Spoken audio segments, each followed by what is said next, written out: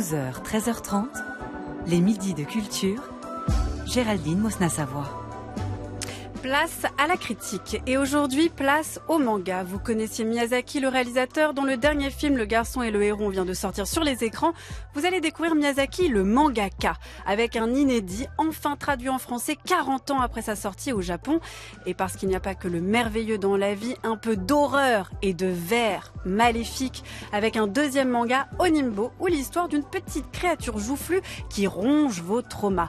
Et on en débat ce midi avec vous, Fausto Fazulo. Bonjour. Bonjour. Vous êtes fondateur de la revue Atome et co-directeur artistique du festival d'Angoulême. Et bonjour à vous, Pauline Croquet. Bonjour. Vous êtes journaliste au Monde, rubrique Pixel. Soyez les bienvenus tous les deux dans les Midis de Culture.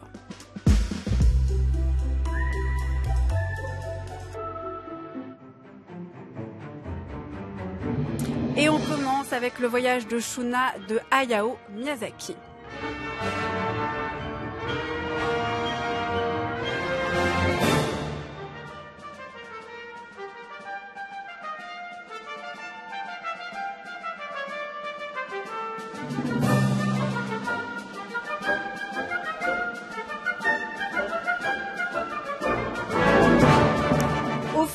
Vallée creusée par un glacier, un royaume, venteux et sans soleil, miné par la famine.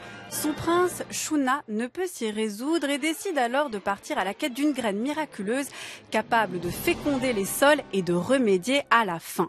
Évidemment, le voyage ne sera pas de tout repos pour Shuna, accompagné de son fidèle Yakuru, mélange de yak et de bouquetin. Traite humaine, cité corrompue, dieu vicieux, il devra braver tous les dangers, y compris perte de mémoire et de parole. Inspiré d'un conte tibétain, tout en aquarelle et en quelques mots sortis il y a 40 ans au Japon alors que Miyazaki n'était pas encore Miyazaki, ce voyage vaut-il le coup, Pauline Croquet? Tout à fait. Il vaut vraiment le coup et puis c'est d'autant plus intéressant que ce récit il a été euh, dessiné euh, deux ans avant la création euh, du studio Ghibli. Et donc, en 83, c'est le ça, studio Ghibli tout à fait. créé en 85. Absolument. Et ce qui est intéressant, c'est qu'on voit déjà à l'œuvre plein de thématiques et aussi plein de plein d'esthétiques en fait de Mm. Miyazaki avant le studio. Alors pour ceux qui connaissent pas Miyazaki, même si je pense que c'est un peu difficile de pas savoir qui c'est parce qu'il est quand même surplébiscité, très connu. Là, Le garçon et le héron, c'est sorti mercredi dernier. Ça fait quand même un tonnerre euh, d'enfer. À quoi ça ressemble Miyazaki? Euh, Miyazaki, on a des on a des comptes En deux secondes. Quelle question Je, me suis dit, j'espère qu'elle va pas me la poser en fait. Alors Miyazaki, sa vie, son œuvre, vous avez Non deux mais ça, secondes. vous savez votre tour après, que vous allez voir. En tout cas, je parlerai de, de quêtes oniriques euh, de jeunes gens. Souvent, ce sont des jeunes héros et héroïnes, parce que Miyazaki, il a quand même euh, esquissé des héroïnes très tôt. Et des quêtes oniriques, c'est-à-dire qu'on est aux frontières entre euh, le réel, des situations très difficiles, mais aussi un monde peuplé de, de créatures fantastiques. Ok, assez simple. Donc, vous avez été plutôt convaincu par ce Miyazaki, surtout parce qu'en fait, vous y avez vu ce qui était déjà en germe dans son œuvre. Est-ce que c'est pareil pour vous, Fausto Fazulo? C'est vrai que c'est assez. Et vous euh, allez nous dire en quoi consiste Miyazaki. ok. Non, mais c'est euh, euh, assez intéressant et drôle d'avoir cet objet aujourd'hui entre les mains, parce que c'est vrai que euh, à l'heure actuelle, on sait à peu près tout de Miyazaki. Il y a eu beaucoup de littérature produite autour de lui, Euh, donc il ne cesse euh, de repousser l'arrêt de sa carrière, sa retraite. Donc on a vraiment une, vue d'ensemble en fait de son œuvre qui est tellement mm, précise que découvrir aujourd'hui en fait un inédit euh, bah, déclenche une drôle de sensation. On a l'impression à la fois de tout connaître et de rien connaître, de tout connaître parce que évidemment euh, il y a à peu près tout dans ce livre en fait, qui n'est pas d'ailleurs pas tout à fait un manga, mais qui est plus un, un récit euh, illustré en réalité. Mhm. Euh, et en même temps, ça, comment dirais-je, son, son abstraction parfois, puisque c'est une sorte de récit un peu en pointillé. Il n'y a pas véritablement de fin. Il y a plein de zones d'ombre. On bah, a nous- quand même un peu une idée de la fin. Oui, il y a une idée, mais en fait, on est quand même sur une structure qui est beaucoup plus flottante euh, et Mm. qui, je pense, correspond assez au, à la période euh, très particulière dans laquelle était Miyazaki quand il l'a créé, c'est-à-dire un peu, voilà, un peu entre entre deux eaux, avec euh, à Il la faut dire que c'était au début des années 80, donc c'était une traversée du désert pour lui. Son premier film d'animation avait fait marché, un flop ouais. en Mm, mm. 79. Il n'a pas encore euh, créé euh, le studio Ghibli, donc en fait il tente, euh, il s'essaye au manga en fait d'une certaine manière. En fait, le manga a toujours été présent dans sa vie. Lui, c'est quelqu'un qui, dans sa prime jeunesse, caressait justement l'envie, l'idée de devenir mangaka, mais qui a été rattrapé en fait par le, cinéma, le cinéma d'animation. J'aime pas trop ce terme, le cinéma, on va dire, en découvrant Le Serpent Blanc, qui lui a donné envie ensuite de travailler justement dans ce milieu. et ensuite, il a jamais vraiment trop lâché le manga. il lui est revenu, il en est reparti. Et ce qui est assez drôle, en fait, c'est que c'est, le voyage de Shuna, c'est à la fois une œuvre très personnelle, mais c'est aussi une œuvre de commande, en fait, en réalité. Ah Donc, euh, euh, c'est une proposition qu'on lui a faite, euh, un peu comme Naoshika, euh, qui est aussi un manga qui est devenu un, un long métrage euh, très célèbre par la suite.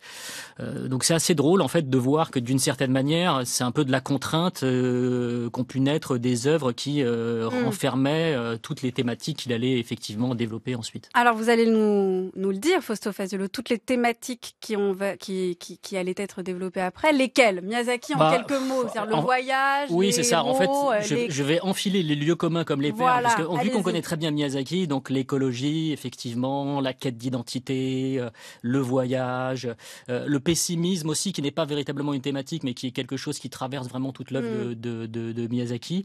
Et puis une sorte aussi de, oui, de, de comment dirais-je, Miyazaki étant quelqu'un de profondément marxiste, encore aujourd'hui d'ailleurs, il le dit, c'est assez intéressant de voir que euh, y, a, y, y, a, de cette idéologie-là en fait dans son œuvre, dans son mmh, travail. Mmh. Donc on retrouve effectivement des personnages qui très souvent sont un petit peu euh, en rupture ou qui ont des idéaux euh, d'égalité qui parfois vont être un petit peu ébranlés. Pauline crois que vous vouliez. On peut rajouter un peu aussi en, différence, c'est que Miyazaki, on l'a souvent aussi associé à une, euh, à des, à aussi à des paysages très européens, euh, très euh, mm. fantasmés aussi.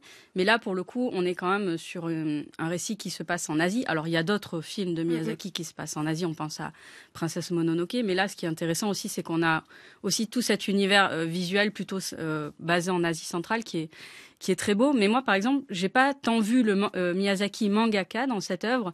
Je, je trouve qu'on le retrouve plus dans Nausicaa, c'est plus séquencé. Là, on est sur un récit effectivement illustré. On est moins sur des des, cases de BD à proprement parler. C'est pas vraiment un manga en fait, c'est voilà, C'est un, objet bizarre. C'est un objet voilà hybride. C'est pas tout à fait un livre d'illustration, c'est pas tout à fait un manga euh, ou une bande dessinée. Et donc du coup, euh, on est entre deux. Et moi, je l'ai plus euh, vu comme un petit peu voilà, on parle de Miyazaki qui a une quarantaine d'années. c'est pas, il est pas au sommet de son art. Et en même temps, c'est une proposition. Il dit voyez ce que je pourrais faire en animation, parce qu'il le dit dans la postface. Euh, il y a une petite note d'auteur où il dit euh, j'aurais bien aimé faire cette euh, cette histoire en film. Et moi, je l'ai plus mm. vu comme un, alors pas tout à fait un storyboard non plus, parce que c'est quand même un peu plus que ça quand même. Plus abouti. On, a, mm. on a des très très belles illustrations. On peut s'apesantir dessus très longtemps. Elles sont très illusives aussi certaines, donc ça fait vraiment travailler l'imagination mais euh, à la fois, c'est pas tout à fait séquencé, ni comme un film, ni comme une bande dessinée. Alors, moi, j'ai quand même une question pour vous deux. En gros, si ça n'avait pas été un Miyazaki, euh, est-ce que vous auriez aimé cet objet étrange? Est-ce que ça vous aurait autant intéressé? Moi, j'avoue m'être un tout petit peu ennuyée en le lisant. Pardon pour lui. Fausto? Euh, moi je trouve ça quand même très très beau. Euh, sur la forme. Le Donc je manque de goût, quoi. Je, ne suis pas assez sensible à la beauté de Miyazaki. C'est très subjectif, ça. Après, euh, voilà. Mais euh, non, je trouve ça vraiment très très beau. Puis sa capacité, en fait, parfois, à, à raconter une histoire ou euh, une intrigue ou une sous-intrigue uniquement avec une avec un seul dessin, c'est-à-dire euh, hmm. deviner qu'est-ce qui anime un personnage alors qu'on le voit juste en train de cavaler sur un territoire désertique. Je trouve ça assez fort, en fait. Il, il, il arrive à quand même poser des questions et à nous faire travailler, c'est-à-dire qu'on est, on est, on est un petit peu euh, obligé de reconstituer nous-mêmes certaines parties du puzzle et de faire nous-mêmes aussi les contours de ce mm. récit qui est effectivement très elliptique. Et ça, c'est un talent qui, euh, qui, qui naît avant tout de la forme, je pense. Donc c'est très beau, Pauline Croquet. Vous êtes d'accord avec ça? Assez, euh, en effet, parce que Miyazaki... Vous êtes pas un peu ennuyé comme moi? Non, enfin, encore une fois, on l'a vu, on le reçoit euh, maintenant qu'on a tout Miyazaki. Mm. Donc c'est plus euh, cette curiosité de dire, voyons ce qu'il ce qui y avait vraiment mm. au début, en fait. Donc forcément, moi, je l'ai lu avec, euh, en parcourant, en fait, finalement, toute la, la filmo de Miyazaki encore une fois, je trouve quand même que ça reste d'une très grande qualité. Les, euh, enfin, les, dessins, l'exécution est magnifique. Est-ce que vous pouvez nous les décrire peut-être un peu On a, ben, pareil, ces couleurs assez euh, aquarellées. On a des couleurs. Euh, Alors, on ouvre tous notre manga. Oui, c'est ça. ça. Alors, en page, donc les auditeurs, si vous l'avez entre les mains. Alors, en page 55. On a le, travail. Les paysages sont très beaux, les cités. On a le travail comme ça, l'opposition du sable et des, couleurs sable et mm. du bleu. C'est pas des couleurs frappantes, éclatantes. Au contraire, c'est très nuancé. On on a, on a ça aussi euh, quelque part. Enfin, moi, ça m'a fait penser effectivement euh, à Nausicaa, ça m'a fait penser euh, à Mononoke aussi, parce qu'il y a une héroïne, Théa, qui ressemble aussi, mm, mm, mm. qui est finalement un petit peu l'ancêtre de, de ces autres héroïnes. donc c'est vraiment très beau et puis effectivement des textures très organiques hein, aussi hein. tout à fait et puis surtout Miyazaki c'est quelqu'un qui est quand même très arrêté qui a un univers très euh, très travaillé, très réfléchi, euh, très, euh, très politique aussi, mais qui derrière fait vraiment confiance à, ses, à ses, lecteurs et à ses spectateurs. C'est-à-dire que ça va déplaire à certains, effectivement. Parfois, il y a, y a des moments où on a l'impression que tout n'est pas résolu, qu'il y a qu'il y a des choses qui sont un petit peu mises sous le tapis. Moi, je crois, et je l'avais lu par ailleurs chez d'autres critiques, je crois qu'aussi chez Miyazaki, il y a une forme de contrat avec son lecteur et son spectateur. Il y a aussi beaucoup d'auteurs japonais qui le font, à savoir de dire, ben, c'est aussi à votre, à votre interprétation. Faites le travail. Quelque part, oui, mais ça, c'est intéressant aussi de pouvoir actionner son imagination, alors que Miyazaki, on a encore déjà vu beaucoup de choses de lui, et d'avoir encore la possibilité, au coin d'une case, dans un hmm. paysage, dans un, un, jeu de regard entre deux personnages, d'aller y chercher euh, quelque chose qui n'est pas euh, écrit in extenso. Ce qui est très rare aujourd'hui. Hein. Fausto Fazulo, vous avez parlé de texture organique, c'est-à-dire bah, C'est-à-dire qu'on a l'impression de pouvoir toucher les décors, en fait. Un petit peu euh, comme on a une sensation euh, de trois dimensions dans ces films qui sont en deux dimensions, parce qu'effectivement, il y a un travail sur la profondeur de champ, une recherche dans les décors qui est telle qu'on a l'impression de pouvoir s'immerger dans l'image. Là, en fait, on retrouve mm. ça aussi dans le livre, ce qui est très très fort. Et en plus, juste pour rebondir sur l'aspect politique, c'est vrai que quand il a fait ce, ce, ce bouquin-là, donc au tout début des années 80, euh, tout ce qui était lié à, à, à l'agrochimie, à Monsanto, était vraiment euh, très très tabou au Japon et je pense qu'il a voulu mettre le doigt là-dessus à ce moment-là. Alors moi, je me suis un petit peu ennuyée parce que l'histoire est un peu simple aussi, c'est-à-dire que c'est vraiment sèche. Voilà, exactement. Bah, mm. Fausto Fazulo, dites-nous en plus sur euh, cette sécheresse qui peut non seulement générer un petit peu de l'ennui, mais presque aussi de la frustration parce que vous l'avez dit, il y a des choses qui sont un petit peu mises sous le tapis, euh, voire il y a des ellipses. On se demande même si Miyazaki en a quelque chose à faire de l'histoire en tant que telle. Bah, je, pense que ça l'intéresse pas tant que ça. Je pense qu'il se repose euh, beaucoup justement sur la capacité du spectateur à, combler un petit peu les. Non mais ça c'est trop facile. Non, parce qu'en fait, euh, ça raconte quand même quelque chose. C'est un, un, récit en ligne droite, en fait. Donc, euh, mm-hmm. effectivement, il y a assez peu de circonvolutions, il y a assez peu de, il y a, il y a quelques vagues sous intrigues. Il y a quelques détours au nord. Oui, voilà. Il y a quelques mm. vagues sous intrigues qui sont amorcées, mais moi, en fait, ça m'a un peu rappelé. Euh, ça n'a absolument rien à voir, hein, mais un film qui s'appelle Mad Max Fury Road de George Miller, on lui reprochait exactement la même chose, qui était un film d'ailleurs qui partageait des, des, des, thématiques assez proches du, du voyage de Shuna. Et c'est vrai que George Miller et Miyazaki, finalement, c'est deux profils qui sont assez similaires, je pense, mais on avait affaire à cette espèce de récit comme ça, justement, euh, en ligne droite, où euh, effectivement on n'avait pas, on n'avait pas des développements dramatiques complètement dingues, mais on voyait quand même les personnages prendre de l'étoffe au fur et à mesure que le film se déroulait. Et là, je trouve que plus on tourne les pages, plus les personnages en fait s'épaississent. C'est vrai. Est-ce que vous êtes d'accord avec ça, Pauline Croquet? Oui, je suis d'accord. Et puis c'est vrai qu'il faut rappeler que cette œuvre, donc euh, c'est vraiment un tout petit moment dans la carrière de Miyazaki. Et c'est vrai qu'on a l'habitude d'avoir un Miyazaki qui passe dix ans, dix plombes sur sur son travail, à, à, le à le morceler, à enfin à tout soigner. Donc oui, que les détails soient précis, que les psychologies soient travaillées, même si c'est pas des œuvres psychologisantes. Pour moi, c'est plus mm. un petit tableau, enfin un tableau de bord. Mm. Et on ne sait pas. Après, on peut pas. Euh, en tout cas, j'ai pas les infos là-dessus, mais je, je ne suppose pas euh, je ne sais pas ce qu'il aurait fait de cette œuvre. Peut-être qu'il la reprend un jour, peut-être euh, pas. Peut-être Vous voulez pour passer euh, en, en, cinéma? Oui, voilà. En fait, moi, je me suis dit, tiens, c'est peut-être à un moment donné, il, a jeté des idées, il les a quand même.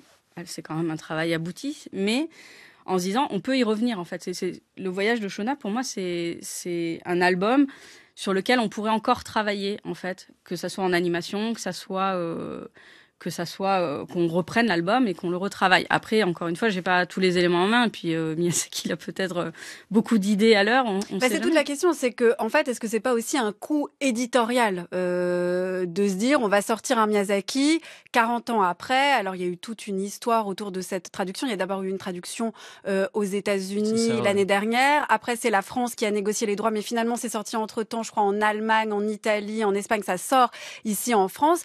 Hormis le fait que ce soit fois un, un, un, petit coup, un gros coup même éditorial. Est-ce qu'on voilà, on y prend du plaisir? Est-ce que c'est beau? Est-ce que n'importe qui qui ne connaîtrait pas Miyazaki, si c'est possible dans le monde, pourrait aimer être enchanté par cette œuvre? Oui, bah, bah en plus, il suffit de se poser la question est-ce qu'il y a un équivalent à un bouquin comme celui-ci dans le paysage manga ou même plus largement dans le paysage bande dessinée? Non, en fait. Donc rien que pour son caractère unique, je pense qu'il mérite de figurer dans une bibliothèque. Après, est-ce que c'est un coup de la part de l'éditeur? Il aurait eu tort de s'en priver, je pense. Oui, ça tant mieux pour lui après. Et c'est vrai que c'est un livre qui est resté euh, pendant très longtemps inédit euh, parce que Ghibli bloquait. Euh, au Japon, l'édition, elle est absolument ridicule. C'est un tout petit format qui ne donne absolument pas, justement, qui, ne fait pas du tout honneur en fait au mm. dessin de Miyazaki. Donc là, on a une belle édition. Enfin, en tout cas, en Occident, on a une très belle mm, édition. Mm. Donc autant en profiter, ouais. Pauline Croquet, un dernier mot? Non, c'est bon. Je, je, suis Vous partagez. Merci, merci Pauline, merci. Je n'ai plus l'âge de faire un long métrage. J'ai d'autres projets. Dessiner des mangas pour mon plaisir. Le voyage de Shuna de Hayao Miyazaki, traduction du japonais par Léopold Daon, c'est aux éditions Sarbacane et c'est paru le 1er novembre. Jusqu'à 13h30, les midis de culture. Géraldine Mosna-Savoie. Et maintenant, des vers et des traumas avec Oninbo Dideshi Ino.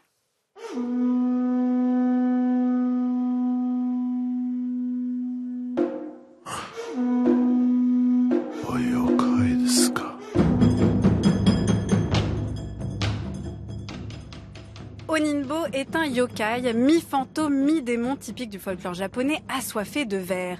Mais pas n'importe quel vers, non des vers infernaux de ceux qui rongent les humains, qui les bouffent et les pourrissent de cauchemars, de peur et de trauma. Heureusement, Onimbo est donc là pour sonder les profondeurs de leur cœur et les purifier de leurs maux, pour leur bien non plus, surtout pour le sien. Manga angoissé de noir et de blanc bien morbide, on se surprend à aimer Oninbo et à redemander de cette psychanalyse par les vers vous aussi, est-ce que vous avez aimé, comme moi, Fausto Fazulo Ah oui, moi j'ai adoré. Bah, c'est génial. Ah oui, bah, le, terme psychanalyste convient assez bien. En fait, il faudrait justement des, euh, euh, des, des, psychanalystes qui aient la même force qu'Onimbo, c'est arriver à nous débarrasser de toutes nos, de toutes nos, euh, de toutes nos, nos, poids moraux, de toutes nos psychoses, etc. Ça existe.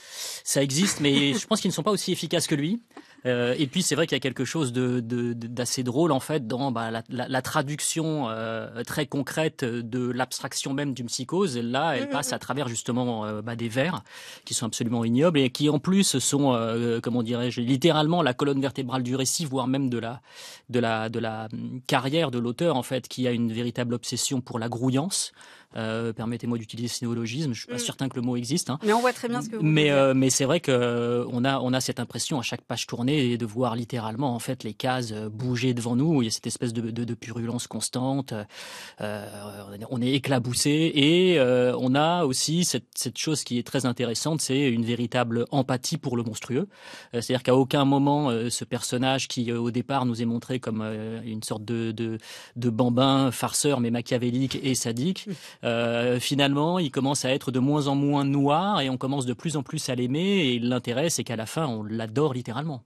Pauline Croquet, vous êtes d'accord aussi? Alors moi, ce qui m'a plu, effectivement, c'est le, le, décalage entre un personnage un peu grotesque. Au départ, on a quand même euh, ce, effectivement ce bambin avec la crotte au nez. Euh, oui, j'aurais plutôt genré féminin. Moi, je, Onimbo, pour moi, c'était une petite fille joufflue. Euh... Jusqu'à temps qu'il rencontre d'autres yokai qui sont genrés euh, féminins. Enfin, il, a, il, a, des congénères, effectivement, avec lesquels il se bagarre un peu. Donc ça, c'est pareil, ça rajoute. Il se bagarre des vers. Qui va manger le, plus gros verre. Dispute les vers. Et, et d'avoir ce petit personnage un peu grotesque, un peu comme Chucky, la poupée. C'est-à-dire qu'on n'y croit pas trop au départ, mais d'aller euh, arriver à, à, créer des peurs assez palpables chez le lecteur parce qu'en fait, Onimbo, euh, il hante euh, monsieur et madame tout le monde. Moi, c'est ça que j'aime bien en fait, c'est qu'on a vraiment des personnages, des lycéennes, des parents, des, scènes de famille. Et, et voilà, donc on, y croit parce qu'il il, s'insère comme ça dans le quotidien des gens. Il attend que le verre soit à point. Donc en fait, il attend que les gens souffrent mhm. assez. Terriblement. Voilà, en fait, au niveau, il n'est pas là pour aider les gens. Euh, il est là pour se, pour se sustenter. Et il attend le meilleur moment, que le, le verre soit à point. Donc les gens, en fait, vraiment sont, sont plus mal. Et là, il, donc là, il s'attaque au verre, donc il est, il est libère. Mais avant ça, il attend quand même euh, tapis dans un coin. Et ça, ça me plaît beaucoup, en fait, ce côté euh, à la fois horreur du quotidien, horreur un peu mm. comme ça, euh, psychique aussi, et euh, avec un personnage qui est pas du tout crédible à la base, mais qui le devient euh, par la force des choses, notamment par la réaction des personnages qui sont, qui sont hantés ou qui sont habités par ces vers. Donc ça, c'est un petit peu pour le contenu, mais ça ressemble à quoi esthétiquement? Déjà, c'est qui Hideshi Ino, Fausto Vazulo C'est comme pour Miyazaki la question, c'est alors qui est Hideshi Oui, mais là vous pouvez vraiment le dire parce que pour le coup, bah, oui, effectivement, c'est pas euh, l'une des signatures mm. les plus célèbres. Euh, non, mais d'ailleurs, il n'y a aucune recension, par exemple, de ce manga. Euh, voilà, est-ce que ça fait partie des grosses sorties manga? Est-ce que c'est un manga important? Est-ce que Hideshi Ino c'est un grand mangaka? Alors Hideshi Ino, oui, c'est un grand mangaka. C'est une, c'est un nom en tout cas qui compte au Japon et qui est effectivement très connu dans l'archipel. il fait partie des grandes signatures du, mm. du manga d'horreur. C'est quelqu'un qui a, a commencé euh, sa carrière euh, dans les années dans les années 60 et qui a euh, commencé à être connu, on va dire, dans les années 70 durant le premier boom de l'horreur au Japon. et c'est quelqu'un qui est qui au départ travaillait des récits d'horreur qui étaient extrêmement introspectifs et qui ensuite dans les années 80 va se tourner un peu plus volontiers du côté du public avec des récits un petit peu plus légers, on va dire, mais avec toujours cette espèce de, de profondeur sociale, c'est-à-dire que on retrouve justement dans Onimbo bah, toutes les facettes de la société japonaise et de tout ce qui vient aussi ronger cette société, hein, euh, la compétitivité, euh, euh, le poids des traditions, la famille, etc. Enfin, on, passe à peu près tout en revue. Et, et Hideshi graphiquement, pour expliquer un petit peu aux auditeurs à quoi ça ressemble, c'est un trait justement qui, qui joue beaucoup sur sur le, le, le, choc des esthétiques, c'est-à-dire qu'on a des décors qui sont extrêmement réalistes et travaillés, et on a des créatures qui sont extrêmement grotesques, tout en rondeur, parfois un petit peu moelleuses, dégoulinantes, avec des yeux qui sont gigantesques et dans lesquels on se perd littéralement, des yeux très très ronds. Donc on a cette espèce de mélange de réalisme et de grotesque euh, qui fonctionne et qui euh, caractérise, je pense, le mieux son style graphique. Pauline Croquet. Et en même temps, dans Nimbo, on voit tout un travail de jeu d'ombre, notamment qu'on pourrait. Mais c'est en noir et blanc, hein C'est en noir et blanc, tout à fait. Mais il y a un travail avec des silhouettes effrayantes, par exemple quand ils tiennent des couteaux, des haches, on a comme ça tout un travail d'ombre et à côté un, un trait assez épais, assez enfantin sur, euh, sur effectivement les, les, les, personnages, mais aussi parfois euh, les, euh, les vers. Et puis aussi, Hideshi c'est le travail de la déformation. On a mm. des personnages. moi, ce qui m'a beaucoup plu, c'est déjà le travail des yeux, mais aussi des cavités oculaires, des globes oculaires. Il y a tout un, mm en fait, je trouve que quasiment toutes les cavités, il est très très bon. Tous les états en fait des personnages passent par par leurs yeux en fait quasiment, et c'est vraiment euh, très intéressant parce qu'on va du plus grotesque au plus effrayant. On a même mm, mm. des bébés avec euh, des cavités vides parce qu'ils sont un peu ils sont un peu bêtes en fait.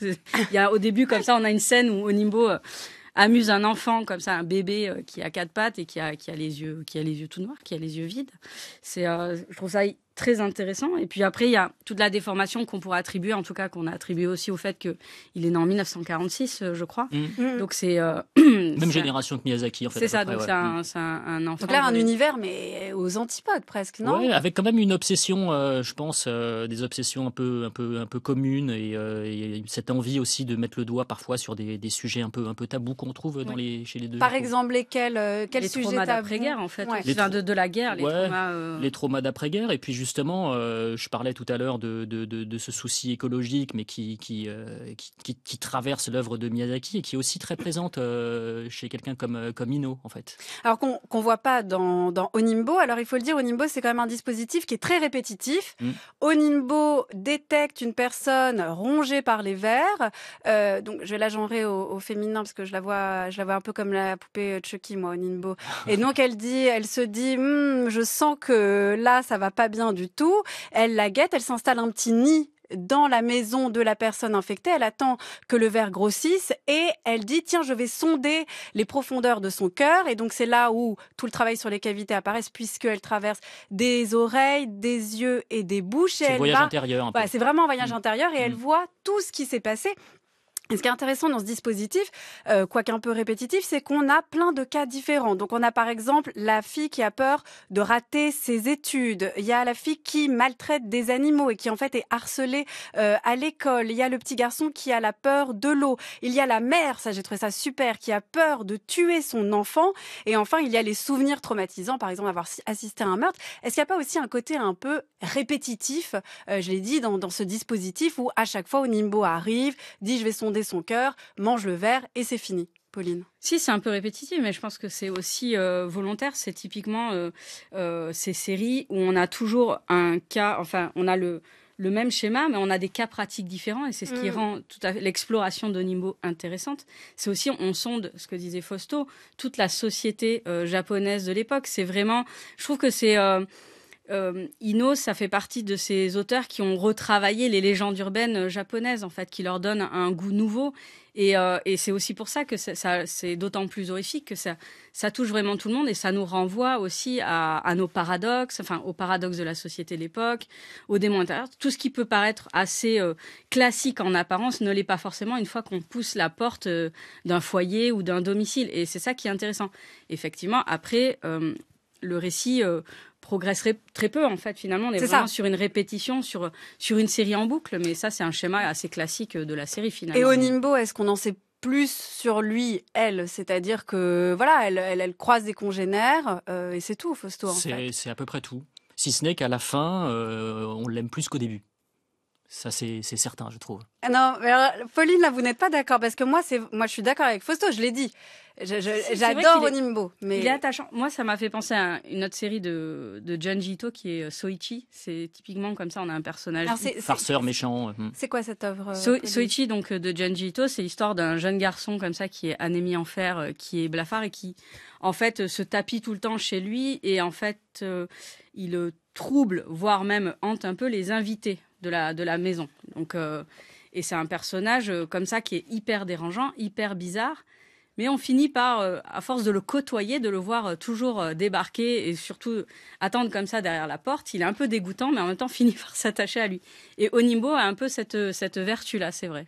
Alors, et comment il s'inscrit, et ce sera la, dernière question, donc dans, dans, dans ce paysage un peu du manga d'horreur parce que c'est quand même un manga d'horreur gentil.